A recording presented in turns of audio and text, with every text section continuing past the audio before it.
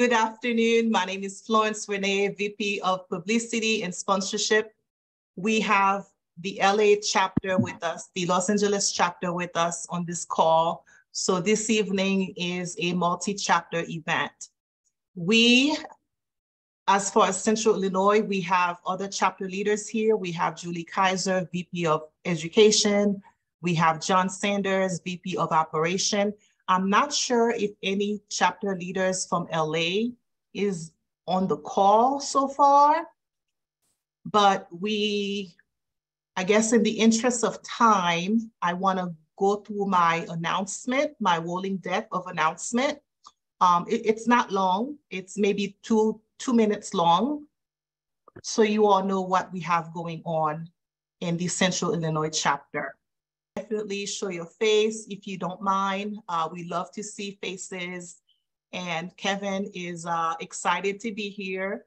Um, he's uh, very uh, sorry that he couldn't make the original date of February 21st, but we're here tonight and we're hoping to have a wonderful time going over best practices for projects and programs.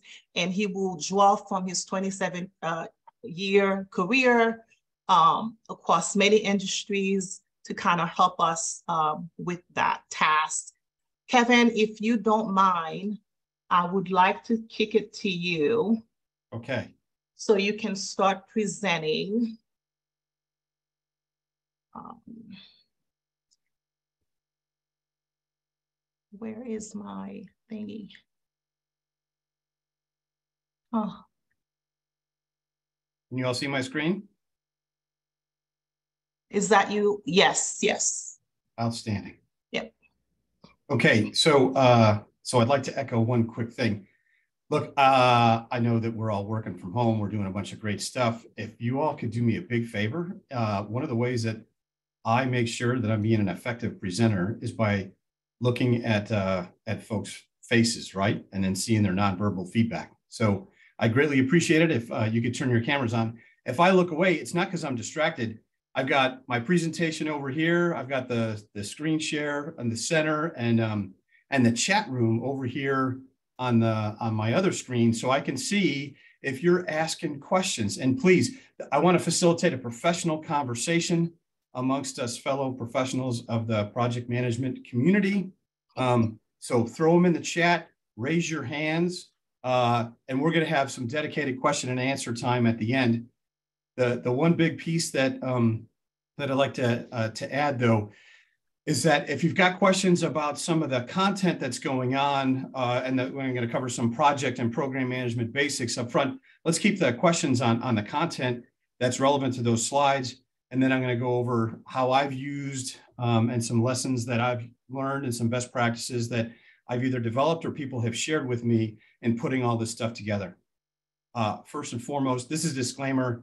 Uh, I've, I've, worked for the United States Army. I was stationed with the United States Army Corps of Engineers during my 21 year Army career. I've worked for large employers like KPMG as a consultant, but everything that I'm showing you is, uh, and I work for a different firm now, everything I'm going to share with you are my opinions and they don't reflect any past or current opinions from any of those organizations.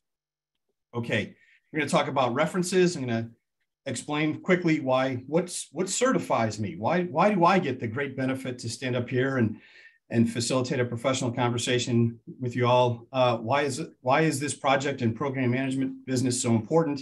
What's the relationship look like? We'll talk a little bit about project lifecycle domains and components and the same thing at the program level.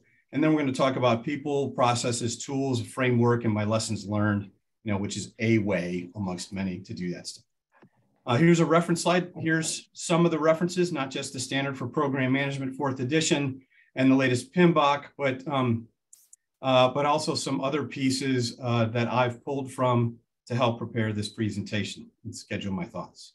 So what, what, what authorizes me or what gives me any kind of credence to sit up here?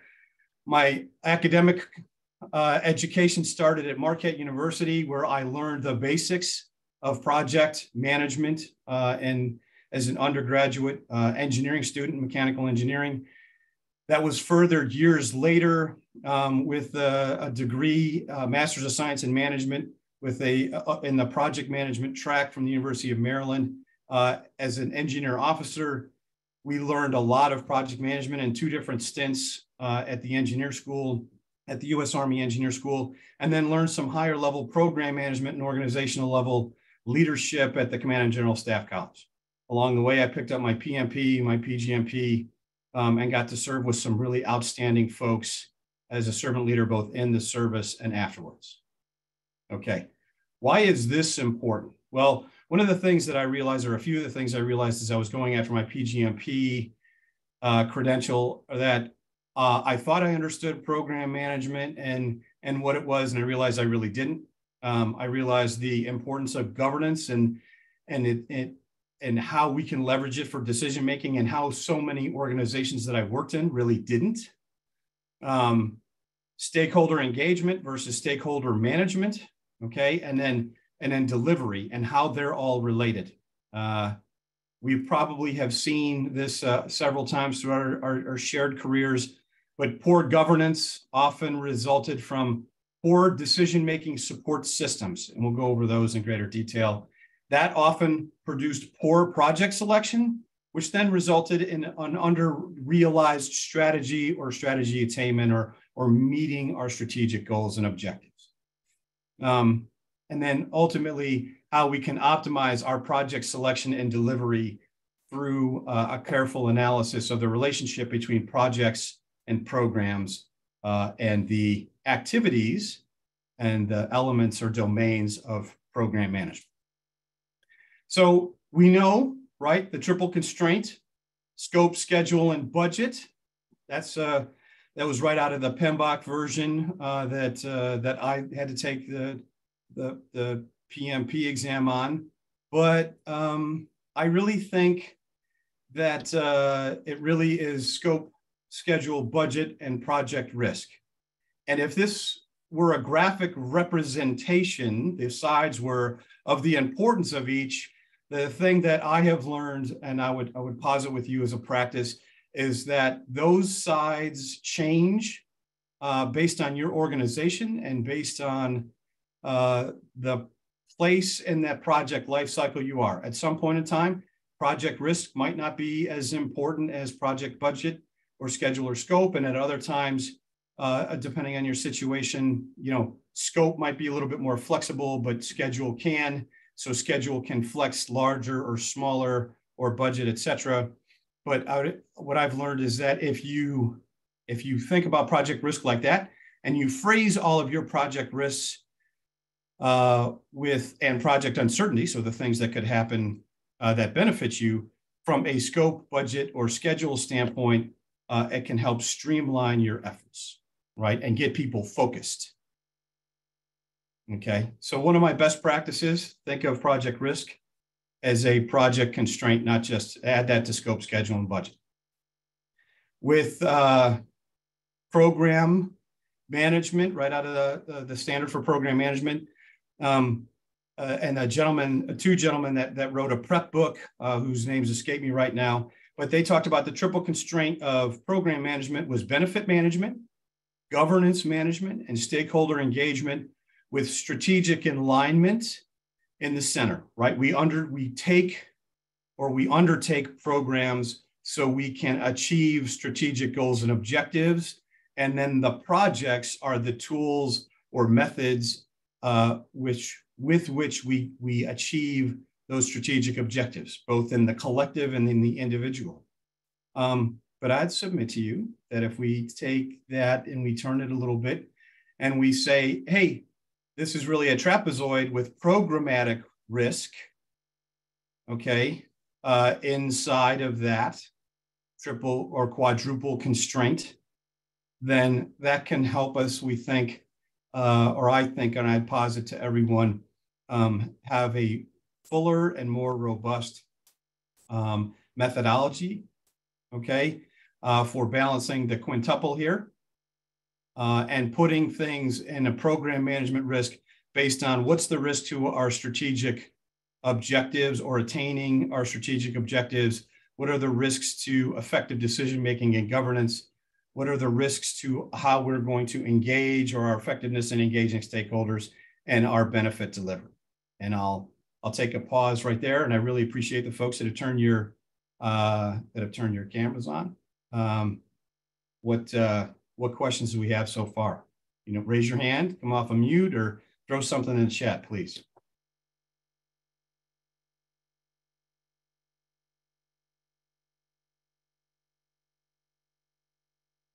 Bobby, thanks, buddy. Common challenges Bobby's seen as especially with this projects after the project is done, operations and maintenance, there's no ownership. No, yeah. So we're Bobby, I want you to hold on to that, right? Because that we talk, we're going to talk about project level uh, closeout and transition. And we're going to talk about program closeout and transition here in a second, right? And how we we take ownership. But but I'd submit to you that and if a project or a, if a program is a group of projects that are related based on our efforts to achieve strategic objectives.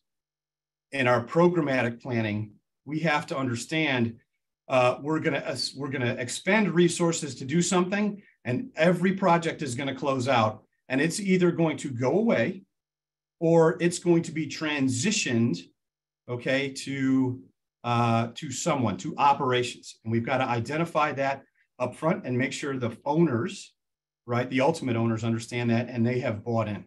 Great point there. Um, but what does a program really look like? A program really looks like a whole bunch of trapezoids, okay, of those projects that are in there, okay? So just, uh, you know, a, a way to think about, and guess what? They're not all the same size. They're not all aligned the same way but uh, they each one of them, sometimes by themselves and sometimes together, help us uh, or help us deliver or, or realize certain benefits or values from their efforts. And, and what are we talking about benefits and values? Hey, that project, right, has a specific start, a specific end, it's got a specific scope that either is going to give us an outcome, so maybe an ability for our firm to do something, or an output, right? A product, a specific product of some point, uh, whether that's uh, something from manufacturing like an engine or a car, uh, an outcome potentially is market share uh, or, or reputation or brand. Okay, so onto the program domains, life cycles and activities.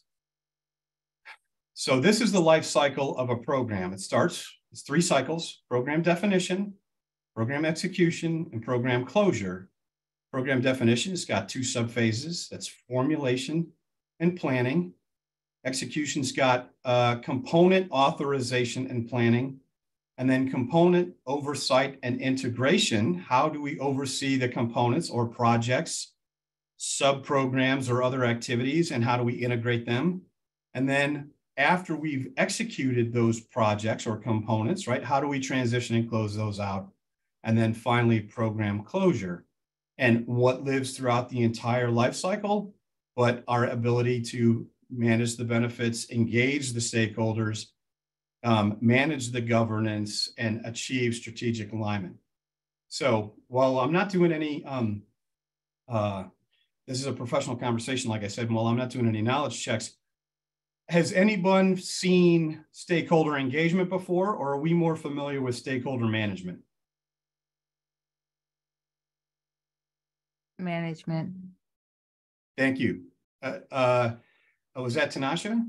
That's Tanasha, yes. Yeah, thank you so much, Tanasha. So my question to you is, why do you think the standard for program management might might call it stakeholder engagement versus uh, stakeholder management? I'm I'm assuming it's more on the lines of um, ensuring that not that um, you're managing the stakeholders per se and making them do anything, but making sure that they're involved and that there's activity, interaction, and communication as far as engagement is concerned. Not necessarily. That's a, that's a great take. A- anybody else want to posit? Miss Lorena, who's been so kind to turn her camera on, any ideas? Well, I I agree um, with what um, the other woman said. Um, it's um, the difference. Well, at least the way I I see it, because I usually do most in my you know I'm part of the teams, but I am usually the one that manages stakeholders. I mean, engages, analyzes, engages them, and then uh, manages them. So engagement for me is is that way of keep them uh, in the loop, you know, in the larger picture, because we all want to achieve that, uh, you know, the the the greater you know uh, right. objective output input whatever no? Yeah. So but it's not yet they are not actually involved actively in each phase of the project and delivering deliverables or anything like that. Right. Thank you so much for that. Both thank you both uh tanasha and lorena. You know uh and the reason why I ask is because I know that I'm with dedicated professionals and I know that you all are going to teach me a lot more than I'm going to share with you guys tonight. Um, when I think of stakeholder engagement, right, a stakeholder is anyone that even thinks that could they could be impacted by what we're trying to do, both positively and negatively. So I think of it like I'm on a ship that's about to sink and there's a great white shark that's in the water. Am I going to manage a great white shark? Nuh-uh. Okay, if you've got someone with high power and low support we're going to go over that in a second. The best you can hope to do is engage them on your terms and maybe mitigate them, but manage that great white shark, not me. I don't have that. I don't have that kind of horsepower, right? So that's a, just a way to think about that. Um, maybe third behind the fabulous explanations that we got from our two peers. So thank you very much. Okay, so big piece here, understand what the domain interactions look like because there are 10 activities that happen within the life cycle of the program, right? So a second ago, we said, hey, look, there's there are these domains, but these are the 10 activities that help us get through the domains, right? Communication, change, finance, financial management, information management, procurement, quality, risk, resources, scope, and schedule. CCFIP, QRRSS. That's a the little palindrome thing that I use to memorize those to take the test. Um, and what are we looking at in program definition? Well, in formulation, uh, this is some of our initial planning. We're going to do our activity level assessments, okay, specifically for comms and finance, procurement, quality, risk, resources, all these pieces here. We're going to develop our business case, our program charter, our high level roadmap, and initial risk assessment when we when we go through a particular phase gate or milestone, getting uh, the business case and program charter approved within our organizations, then we move on to planning, and then we develop robust planning activities. There's one for each one of those. A benefits management plan, a stakeholder engagement plan, and a governance plan, high level plans.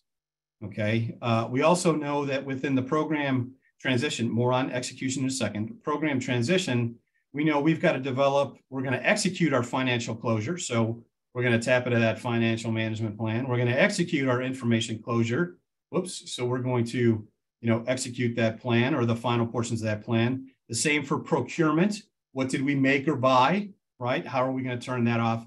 And then our risk and our resource transition, right? We're going to kiss those folks back that had worked on the different pieces. So understanding the integration of the plan and then remembering, and I believe that it was uh, President Eisenhower when he was a general in the United States Army during World War II, uh, that he said something to the effect of the plan is nothing but planning is everything.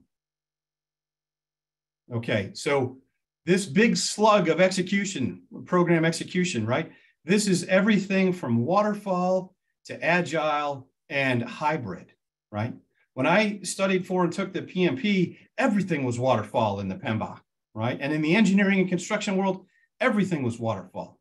And, and only folks that were working on software worried about agile. But that's not today. That hasn't been that way for a long time, at least 10 years. Uh, even in the construction and engineering and design industry, even in design bid build, we are more and more using some of the techniques that uh, that were known and and agile. Uh, one of the things that we'd say at, at KPMG is we're not doing waterfall or agile, we're doing agile fall or water job, right? So um, I'm curious though for, for you fellow professionals, uh, what world or arena do you live in? Are you guys live in the in the big blue of hybrid, or you live in in waterfall or agile pure? I can go. I think my team is in the hybrid space, but we we like to think we're agile. Uh-huh, We're right. more, yeah, we're more hybrid than Right. anything. Yeah, thank thank you for that. Yeah, ah, Bobby, Kanban Gile. I like that. Yeah, hybrid, living in the Yeah. hybrid, right? Everybody wants to say they're agile because it's new, it's fresh, it's exciting, right? You know, in process improvement, everybody says, I'm going to do a rapid improving event, but that comes with certain strings. And when they find out what those strings are, they're like, oh, yeah, no, we're, we're, we're not going to do all that, right? Um, but, but we know in waterfall, hey, we're going to, we're going to do those five end-to-end steps, right?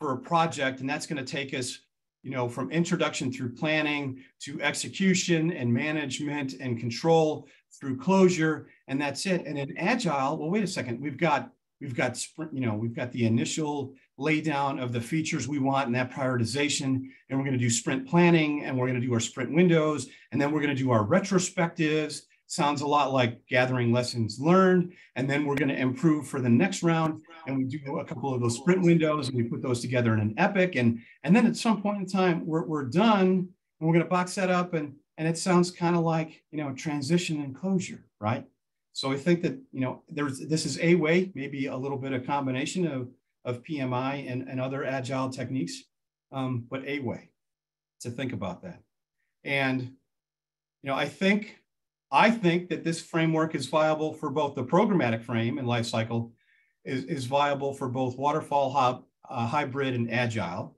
projects. Um, and your program could be a hybrid of waterfall projects and agile projects and hybrid projects if they're all helping you and they're all related in the same in a particular way to help you achieve some strategic objectives. And I'm, I'm curious what other folks think about that.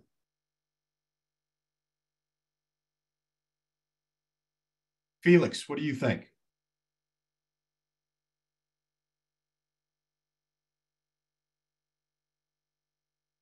Anyone? I'm The Smoot Hawley tariff bill? Anyone? So go ahead, Felix, please. oh I'm I'm to be honest, I'm not sure. Like I'm I'm very I don't know. Let me think about it. Okay, I'll come back to you. Thanks. Appreciate, I, I do appreciate you coming off mute. Tim, Rick, Jeanette, Randall, anybody? Kathy? Bobby has a comment. Okay. The grace we afford each other, heightened communications, and less on written comms, more frequent calls in a non-co-located team, not truly command and control type leading teams, those are more important to him. Got it.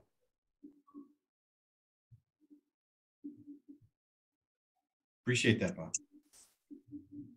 All right, continuing to move. Okay, the governance domain, decision making at its potential finest, right? So what I found that uh, what's really key is if you tie your decisions to uh, and your actions to your strategic objectives, where do you do that across all 10 of your activities using your planning documents? How, you know, what do you do? Well, you use your analysis from your current and relevant measures, your current ROIs and, and KPIs, your current return on investment and your current KPIs to measure yourself. The result could potentially be or, or assist you uh, in developing recommendations that are more time, you know, that, that facilitate a more timely decision-making effort or standard.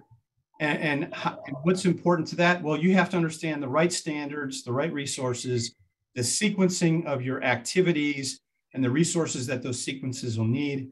And then the fact that quite frankly, in your governance, you are approving, one of the things you do is approve resources. And by approving those resources at a particular time, you are authorizing that activity or that project to start, to pause, and to stop. What, based on your updated assessments of your return on the investment, we're investing so much. Are we getting the returns that we're starting to see?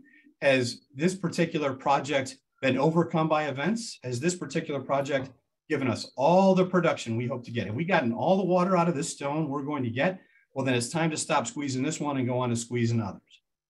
Okay.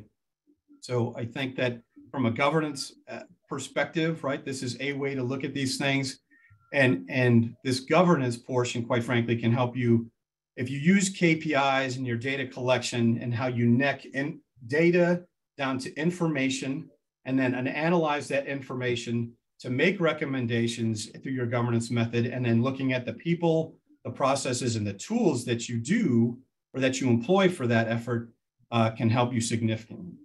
Let me pose a question. How many folks have seen decisions made on which projects are going to be resourced based on uh, the level that a particular champion uh, is in an organization? The higher up the pyramid, oh well, we've got to we've got to you know we've got to support that because the boss wants that, or the loudest person in the room. How many folks have seen seen that happen. Right. Thanks. Yeah, uh, me too. Right. Um, Bobby's got another com comment for us. Appreciate that, Bobby. Um, yeah, have seen that too. How many people have seen? Oh well, we have to we have to resource this project because we resourced the last two, and and if we resource the next three, then we'll finally get some some production out of it. How many folks have seen that? Yeah, right as we get this self-fulfilling prophecy. But the first class that I took in my master's degree, you know, which talked about the basics of business, talked about you don't ever use previous right uh, uh, uh, previous investments as the primary and sole decision maker for your future investments. Right? It's an estimate of how close are you to achieving your objectives, your returns, in this case, the benefits that we've laid out in our strategic objectives. Um, we talked about KPIs, right? It's important to understand what are the metric categories and type. We've got business of fine, you know, the business or financial metrics. We've got the success-based metrics, the project-based metrics, the project uh, management process metrics, right? These are pretty hardcore mathematical ones, ROI, net present value, payback periods, right? Improved efficiencies, you know, some things that are really quantifiable, okay?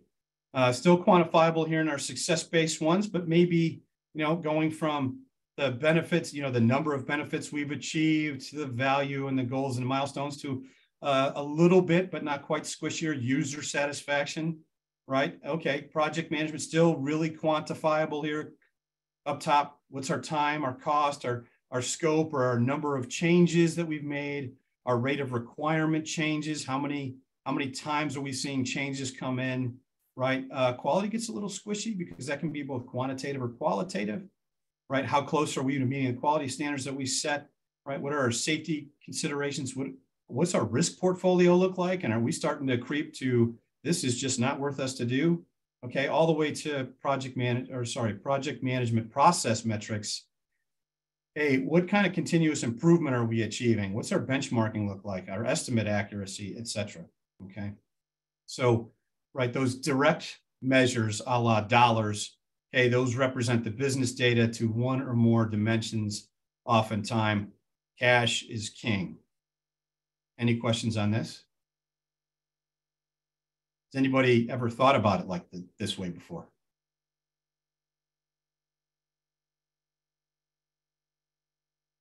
All right. Endless metrics, okay, a million metrics, but really only a few key uh, key performance indicators, right? Cost variance, schedule variance, cost performance, and schedule performance index. Okay, our utilization ones. What is our utilization? What's our number of understaffed hours? What's our cost for overtime labor? Okay, how much are we getting done during the regular workday and how much are we having to pay premium on? What's our planning cost as a percentage of the labor? How many milestones are we missing? Okay, what's our percentage? What's the percentage of the assumptions that have changed? And a little bit on assumptions for a quick second. You know, during your planning activity, you should have a lot of assumptions, and an assumption is a item that you have a strong confidence will be true and you work throughout the, the life cycle of your project and program to confirm or deny that assumption, right? I, I believe tomorrow that the sun will come up. Now, that that's probably a ter- that's a terrible example. Okay. I'm I'm assuming that I will get through all 40 slides within time. Okay. I'm about four minutes behind schedule right now, but I think I can make that up. Uh, I've got a strong assumption. In about five minutes, I'm going to know whether or not, in fact, I'm not going to get through all these slides and I'll have to short short circuits. Right. So that's an example of the assumption and then confirming or denying that assumption. Okay, we see here, metrics are tied to a target. Don't have metrics just to count a thing. Don't collect data to just count a thing. Understand what your uh, key performance indicators are, collect that data so you're directly tied to it. How many folks have, have been stuck into just collecting inf- data, not, not relevant information, but collecting data because that's the way we do it, or because somebody asked a question one time. When I say somebody, I mean a leader or an executive asked a question during a board meeting, and now we're collecting this data, but it actually never fulfills any purpose or the specific purpose of decision making and governance. You guys can throw something in the chat. Who's who's lived through that lovely scenario before? Yes, I know I have. Otherwise, I wouldn't share it with you all tonight. I have a sorry, Kevin. I have a quick. This is Felix. I have a quick question about that. Yes. About collecting data. What if you don't know if that? What if you're just collecting data to see if it's useful data and then reevaluating later? Is that okay in, in some ways, or does that? What is your take on about that? Because Yeah. if we have no data, we don't know whether the data is good or bad.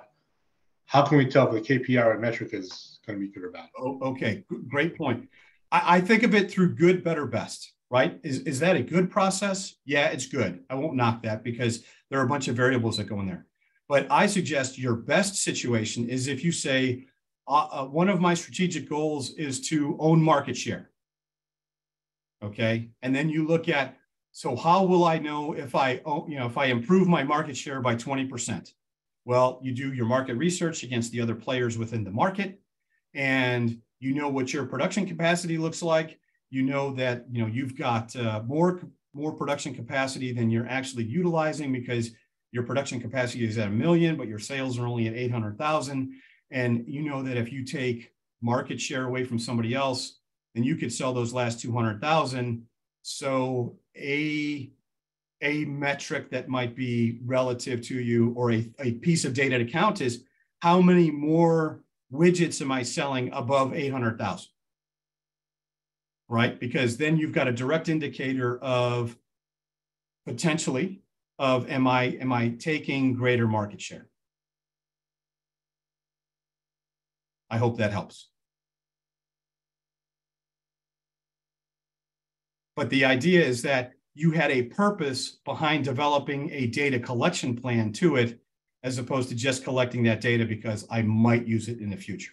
If you've got nothing else, then you might as well collect that data. But the, the challenge you then have is that I've seen is that people will take that data, they will conduct analysis, or they'll, they'll take that data, they'll knock it down to relevant information, they'll conduct that analysis, and then they will try to back in to the decision or the recommendation with that data. And I've seen it many, many times where that data is completely irrelevant to that decision but they will try to back in and justify a particular decision based on the data they have rather than the data that they actually needed.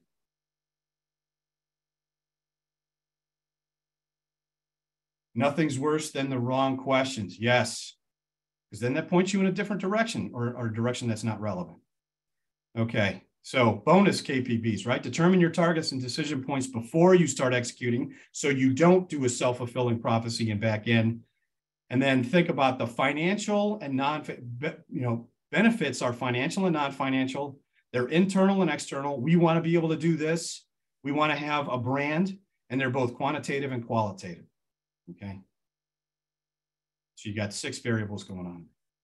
Okay governance tools right we talk about decision decision making understanding decision makers from those stakeholders id and analysis we're going to go over that in a little bit We've got decision criteria, right? Those key uh, performance indicators that are both financial and non-financial. We've got the internal and the external, the quantifiable and non-quantifiable, and tools. How are we collecting this data? How are we and how are we selecting the information, necking the data down to information? How are we doing the analysis? How are we communicating that? Excuse me. What's our audience, right? We've got multiple audiences. Is it decks? Is it point papers? Is it dashboards? Is it executive summaries? Is it all of the above? More on that. Okay, so benefits management and the value proposition is that we look at value propositions through financial and non-financial internal external goals and results. Um, it doesn't matter what we wanted to achieve. Quite frankly, we are the folks that help quantify and tell the story to business leaders of what we did achieve and why we want to either resource particular projects within the program lifecycle or not.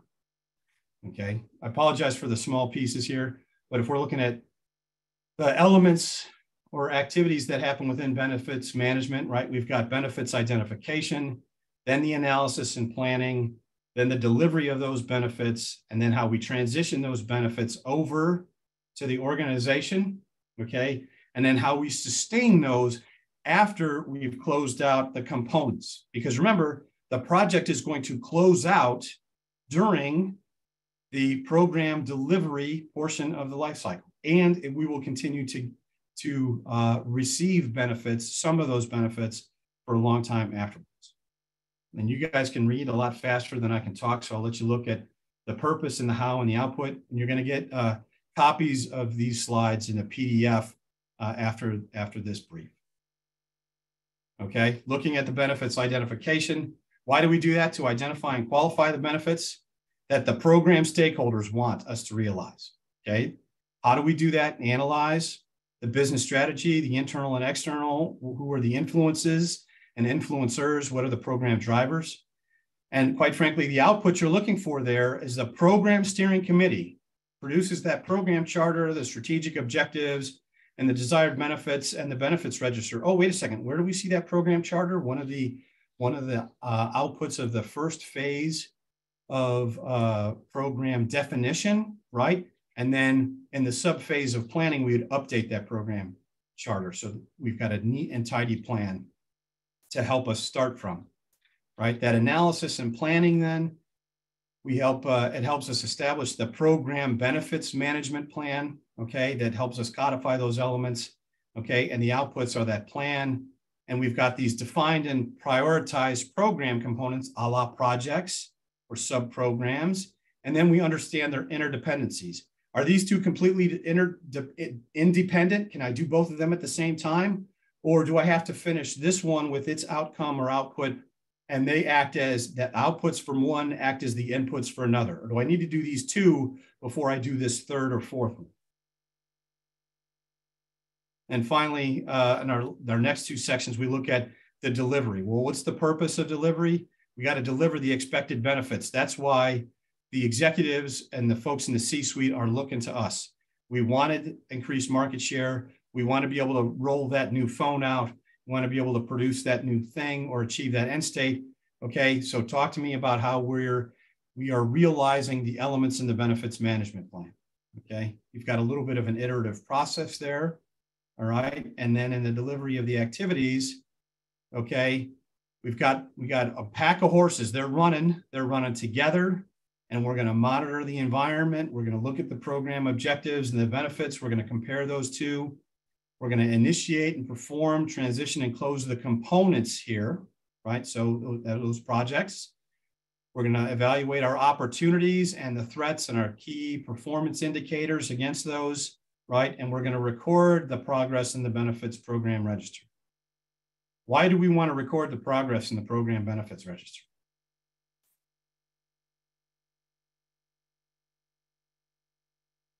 Who's played sports before? Right? What do you guys do when you play sports? You guys keep score? Keep score. You're right.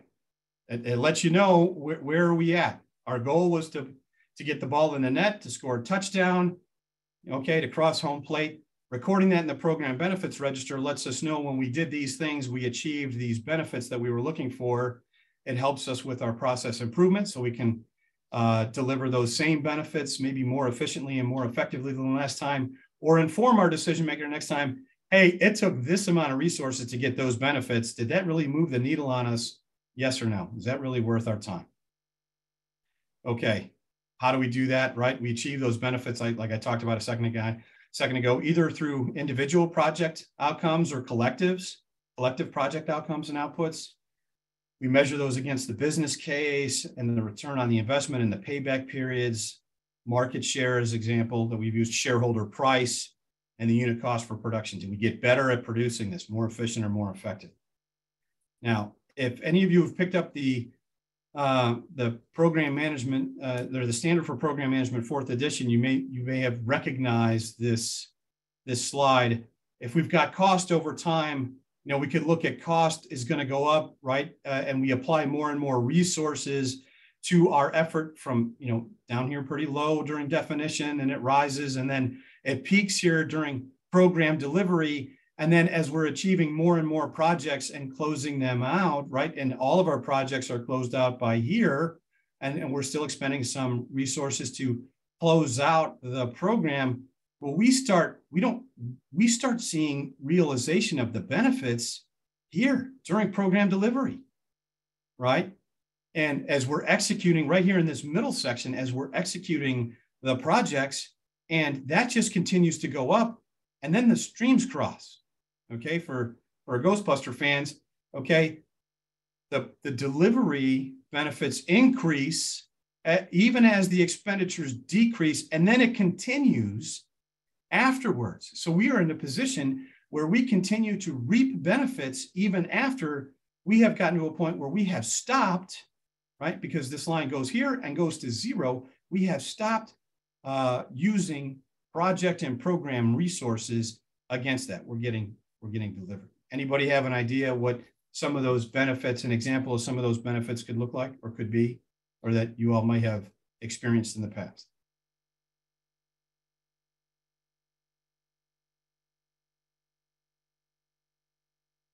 How about brand?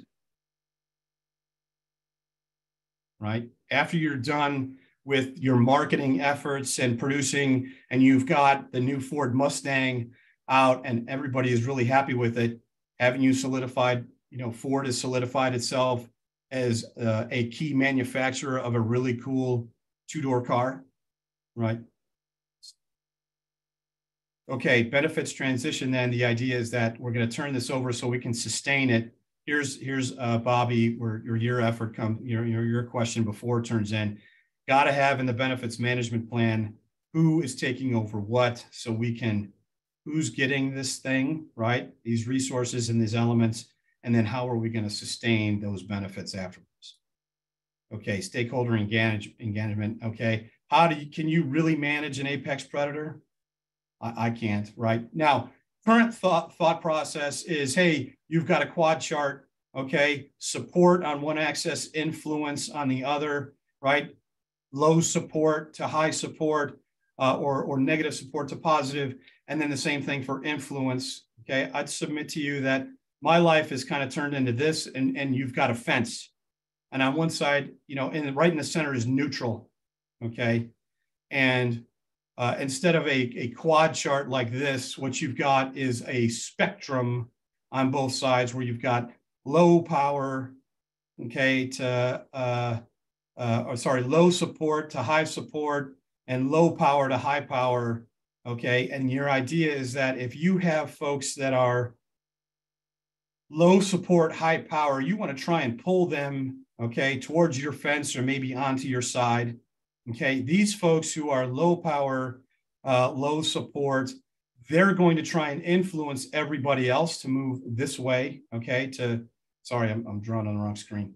Um, the uh, the low power, low support folks, they're going to try and pull people to the left. Okay, you've got to engage your high support, low low power, high support people to do the same thing.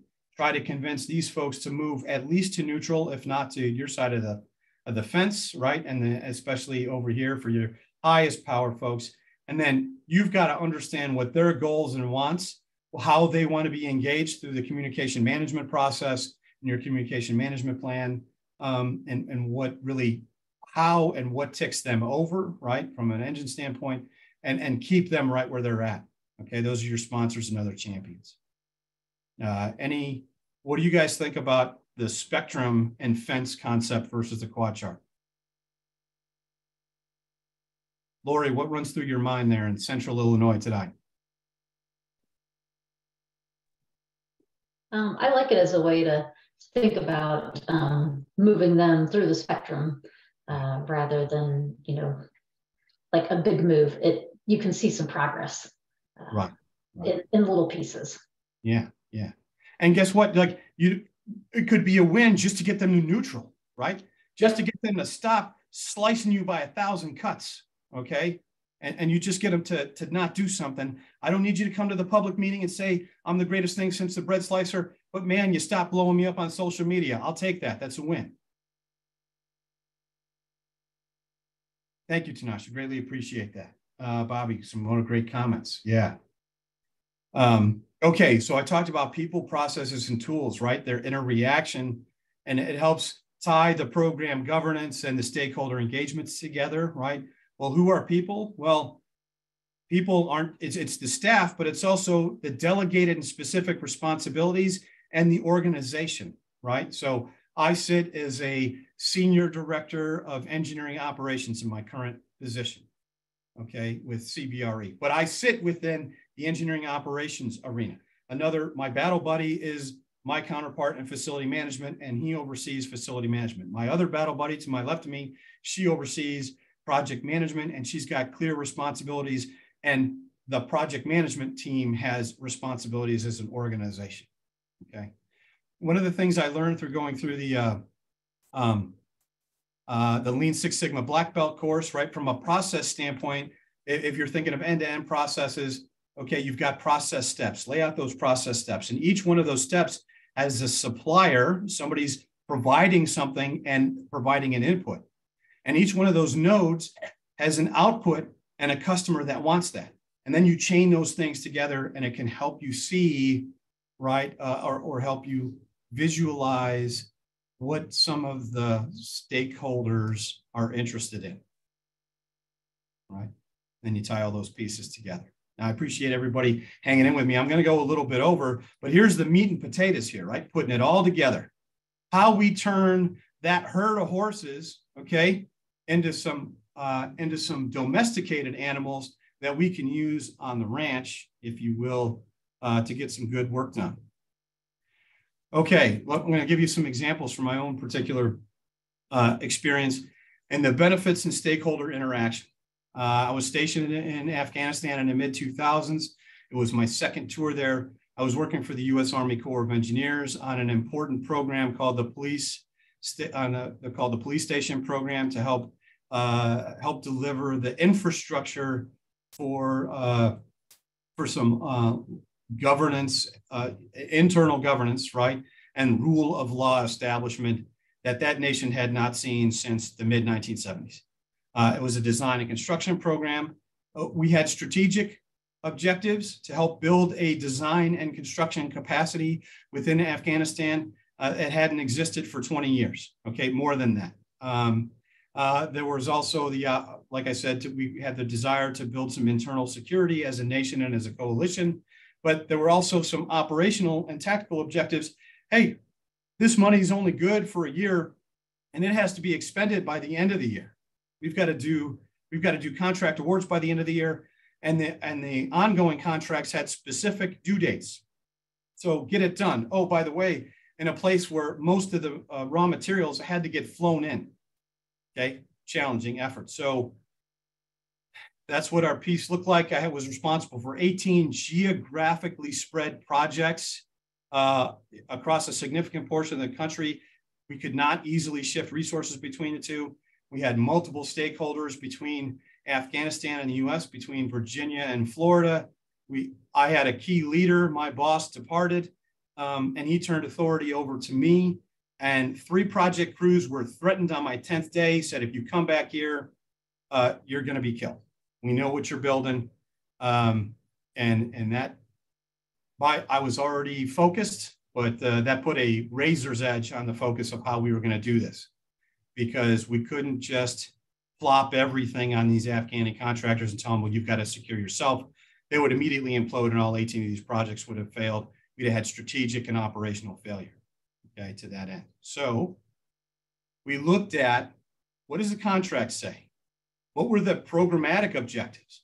What was the strategic objectives and the programmatic objectives? And then we had, we had a, uh, quite frankly, within the program, we had 18 projects that were underneath one task order, 18 separate projects, one program. Um, what are our operating procedures and what makes sense? Okay, where do we need to ask for a deviation from our standard operating procedures?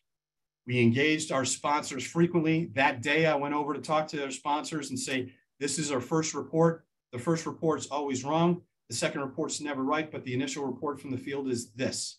Based on the contract, we could force them to do this. The likelihood that they would succeed, a la my risk assessment, is this, which was very low. I think that we should do this. Um, they bought off on that. Uh, we we planned and developed what I really just talked to quickly is we planned and developed some options. We used a decision making model. What's that? Governance.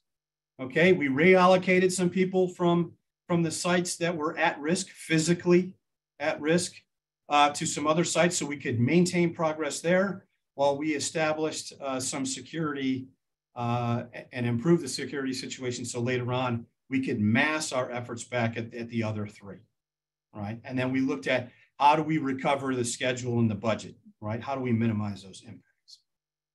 Uh, any questions? I know I went through this stuff quick. Any what what questions we have on this example of how we you can look at the intersection of benefits and stakeholder management? Uh, on any group, there are people that will be against any change. That's a great point, even if minimal from their part. Okay, um, from a little bit later in my career, more recently. Uh, here we have, especially for our, our, colleagues and friends, and thank you so much. I neglected to, to welcome our, our colleagues from, from Los Angeles. Uh, but here we have the Midwest, the Great Lakes, and this, this area is Chicago, okay? Uh, and sorry, this area is Chicago. I keep doing my telestrator on the wrong screen. Um, third largest metropolitan area in the Midwest uh, sits on the Great Lakes, which is the largest single available freshwater supply in the world. Available freshwater supply. Folks have said, what about the Arctic? Well, can you drink ice? You can't. That, that means it's not available. So here we had in the early 1980s, and Chicago was formed right in the early 1880s, went through exponential growth, literally the entire century the 1880s. Uh, and, and that included the, the delivery of water and sewage infrastructure that, that was modern in the 1880s and 1890s. Uh, but the, comp- the area was less than 1 million then and is something like 6.8 or 7.2 million now between the urban sprawl of northwestern Indiana up to the Milwaukee border. I'm sorry, the Wisconsin, the Illinois-Wisconsin border heading up to, towards Milwaukee. Can't handle it, right? Massive flooding happened throughout Chicagoland during that time frame multiple local governments and communities were involved and were stakeholders. And how do we tame that stallion? Well, so zooming in, okay, to the city of Chicago, all right, my hometown, we've got, uh, we, they developed the tunnel and reservoir plan, TARP. And, and this uh, graphic on the right-hand side shows the general borders of the city, okay, uh, along with um, yeah, the general borders of the actual city of Chicago, and 109 miles of tunnels. And I tell a lie. This is Cook County. This isn't the city of Chicago. This is this is Cook County itself. Uh, what they did was they developed uh, a plan uh, of 109 miles of deep tunnel. The tunnels are one mile underneath the ground, and three different reservoirs located that can take water in from three different sets of the tunnels uh, across 100, sorry, across 10 congressional districts in 101 communities, right? You've got the city of Chicago proper, and then all of the collar communities uh, like Evergreen Park and Merrionette Park, et cetera, et cetera. These folks here out here in Whiting uh, and, and East Chicago and Chicago, uh, right there in Indiana.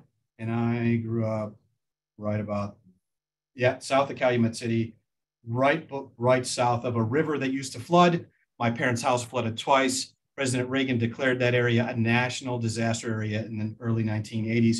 And then it flooded again two years later. So they got hot on this and they said, okay, look, uh, they being the Army Corps of Engineers, the local congressmen, uh, and other uh, other constituents like the uh, Metropolitan Water Reclamation District, they said, look, what would it take for us to alleviate the flooding over this entire area, right? Uh, or some of the flooding over this entire area. And they looked on at the return on the investment, okay? They looked at over, since this is a civil works project, uh, the United States government's plans are to um, invest sequentially over time in efforts. They're not done all at once, okay, in, in these pieces here. And, and how long would it take us to get there? As you know, the longer your schedule is, the more potential there is for schedule variance or schedule growth, okay? Uh, the longer you're going to execute multiple projects and your project complexity and your program complexity, therefore, will increase the potential for cost variance. And then what does stakeholder satisfaction look like? And I can tell you from somebody that, that lived through that as a young boy and then lived through uh, disaster response as a young man and a middle-aged man providing it, it is significantly emo- is a significant emotional event when you have people that have suffered uh, natural disasters, especially flooding. Right? We said, what does the stakeholder satisfaction look like? Because that's a key uh, a key metric for the U.S. Army Corps of Engineers um, and how they're evaluated each year. So, what did that look like? Well, it manifested itself. Here's an example of the uh, of, of, the McCook uh, reservoir that will hold. Uh, and sorry about this. That's a misplaced uh, misplaced graphic. Um, this will hold 10 billion gallons when it's complete. It's already online. The first 3.1 billion gallons is already online. It will hold 10 billion gallons of sewage that otherwise would have pushed up into people's basements uh, through the, the current um, and the improved uh, sewer combined sewer uh, and, and rainwater system that's, that's ongoing. And then it will gravity feed to one of several wastewater treatment plants, that sewage will get treated and then it will be released back into the water supply. Uh, so one of uh, a fantastic example of, of green meets good, right? And, and our, our purpose there was to talk about, you know, the intersection of stakeholders, the intersection of potential solution sets. Uh, what questions do we have here? I don't see any. We can try to wrap up. And, okay, great. Uh, one last one, one last example. So uh, KPMG needed to train itself. Uh, it decided to stop renting space. It built a 52 acre, $450 million campus.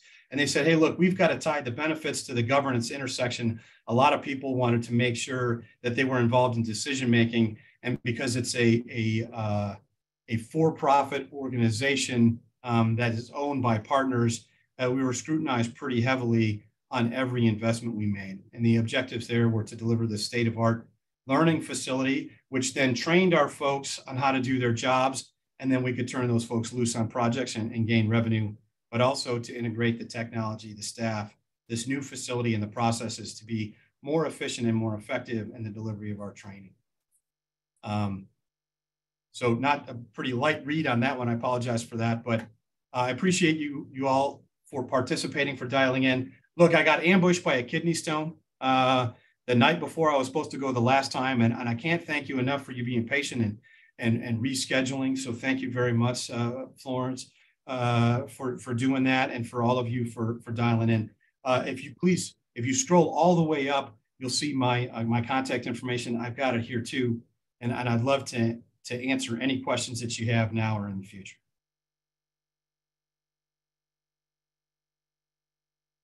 Lots of thank yous. Yep, thank you. Yeah, this was great, Kevin. You more than enough, you know, gave us um, a lot of um, ideas and, and you had my my mind going as you were talking. So I appreciate you and judging based on the comments, I think everyone feels the same. It was informative. Lots of thank you. Yep. Great, great, great. So we are five minutes past seven, so we apologize for being overtime, but it was for a good cause as far as I'm concerned.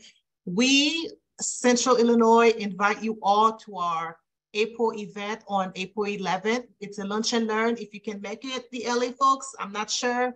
Um, but we have other things coming up in May, June, July. So please um, definitely keep us in mind as far as um, topics and, and presentations. Um, we can just stop here. And Bobby, thank you for connecting me with Kevin because you made this event possible. So I have to give you your due credit. Um, anything else? Yeah, looks like we're all good. So we can just stop here. I will stop recording. I will send the survey to my Central Illinois folks with the slide and then the um, David will send you the LA uh, folks. David will send you the um, the PDF document and uh, we'll just handle it that way. Yeah, we're, good. No other questions. It looks like we're all good. Well, have a great evening. Enjoy your week, your weekend. Have a great one, everybody. Bye, Kevin. Bye-bye. Thank you so much.